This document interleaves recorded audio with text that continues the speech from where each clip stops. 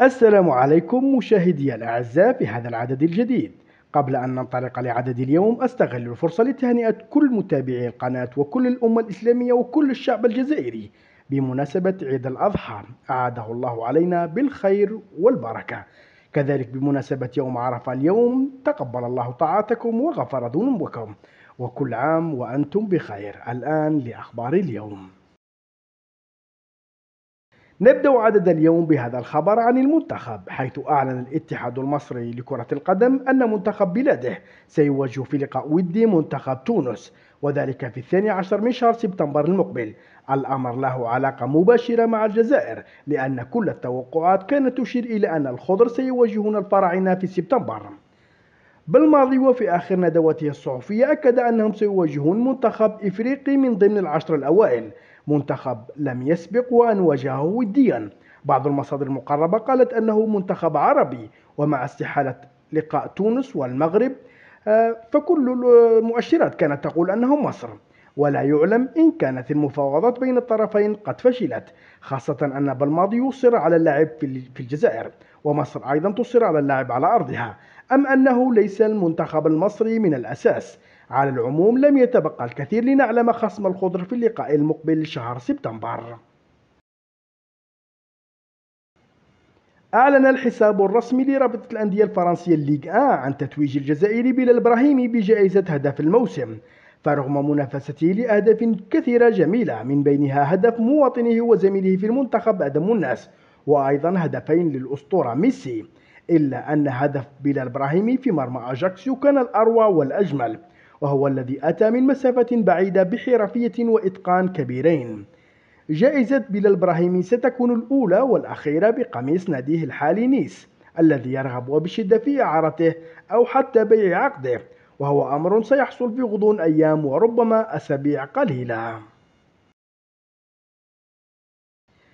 كشفت صحيفة لينيون الفرنسية الجهوية أن إدارة ماتس الصاعد هذا الموسم للليغ آ بدأت تتحرك حيث رصدت الإدارة عديد الأسماء في بعض المراكز من بينها ومن أهمها مركز الوسط وصناعة اللعب. الصحيفة الفرنسية السابقة قالت أن لاعب الخضر ونادي رانس إيلان كبال يوجد على رأس الأولويات. المصدر الفرنسي قال أن إدارة رانس لا تملك أي نية للاحتفاظ بكبال وستسعى لبيعه آخر عام من عقده. كبال وكما أشرت سابقا مطلوب ويعلم جيدا أن أيامه في فريقه الحالي قد انتهت.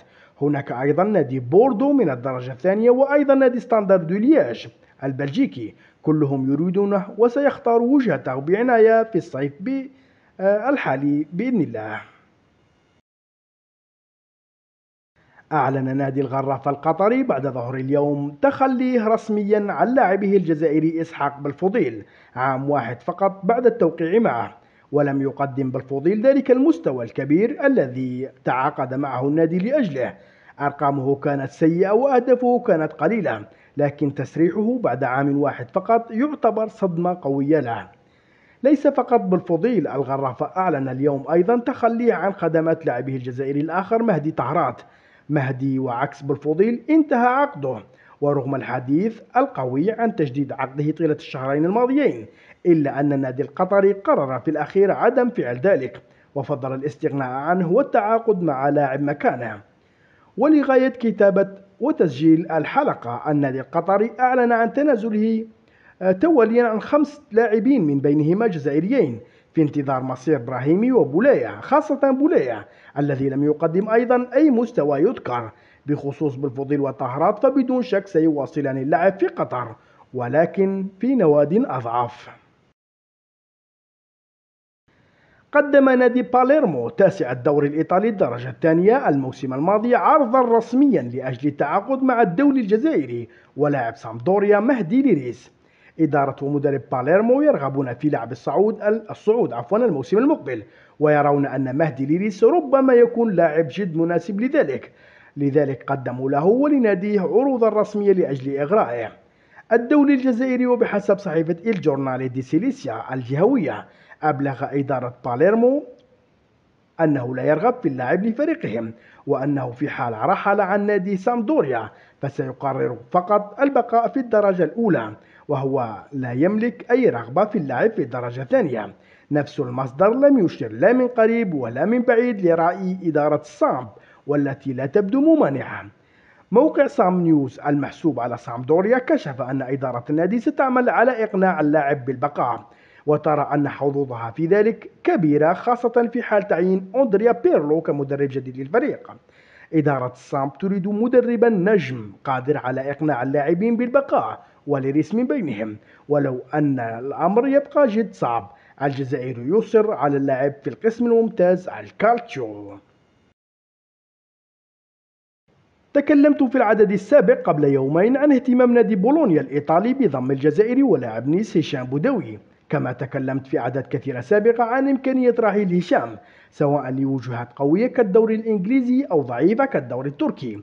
تقارير فرنسية كشفت اليوم أن كلا حر فيما يقول لكن إدارة نيس لا تملك أي نية لبيع الجزائري التقرير ذاته برغم ذلك أبقى القوس مفتوحا ووضع استثناء لهذا القرار. إدارة نيس ستسمح برحيل بودوي فقط في حال وصول عرض كبير ومجنون.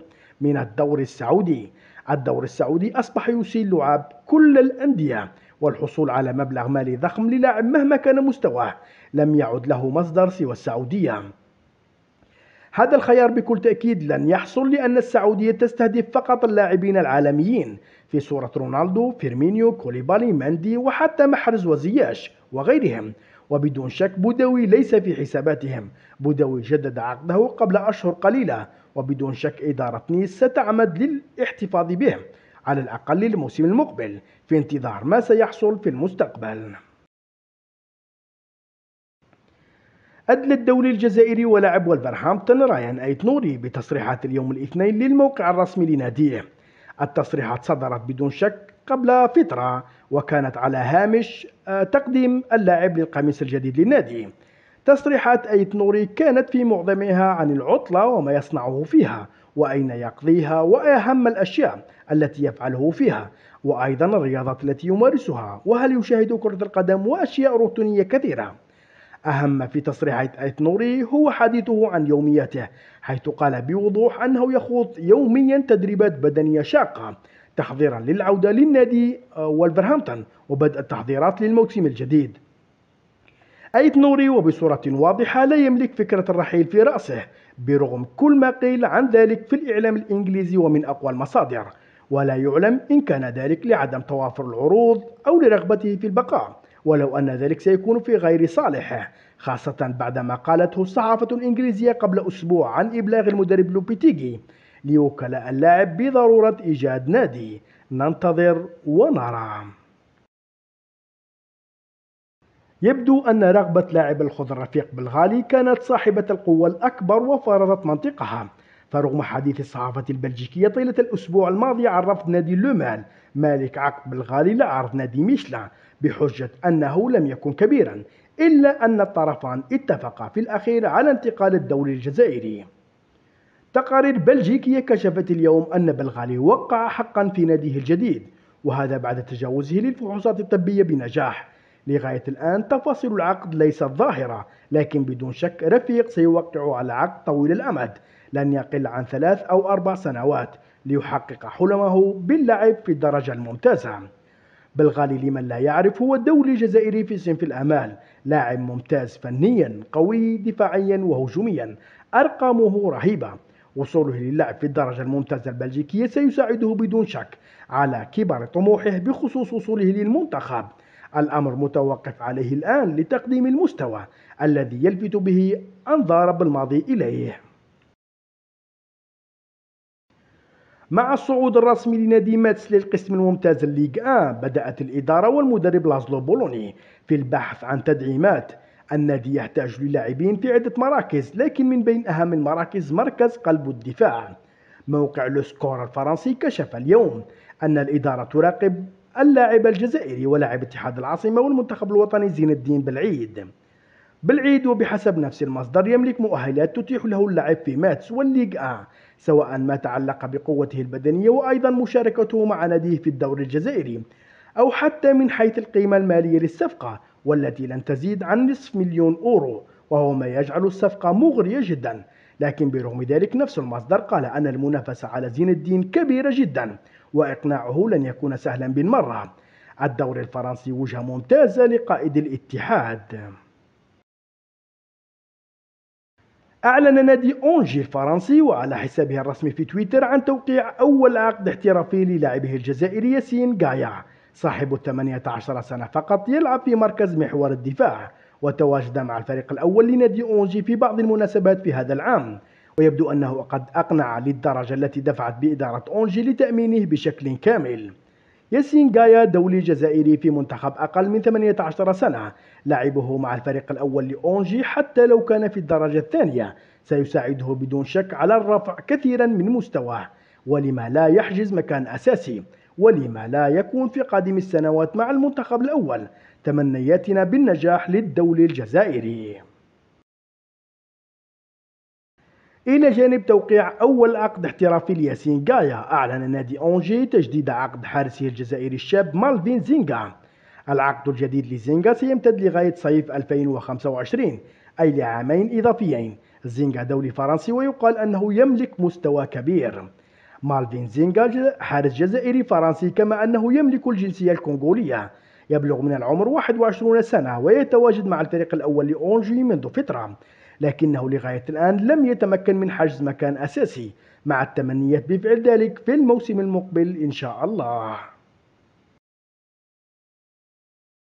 دائما مع أخبار المواهب ودائما مع مركز الحراسة الحارس الشاب ومن قيل في حقه كلام كبير بعد أن تواجد مع نادي يونغ بويز في دوري أبطال أوروبا في سن 18 سنة فقط عبد الله العيدوني.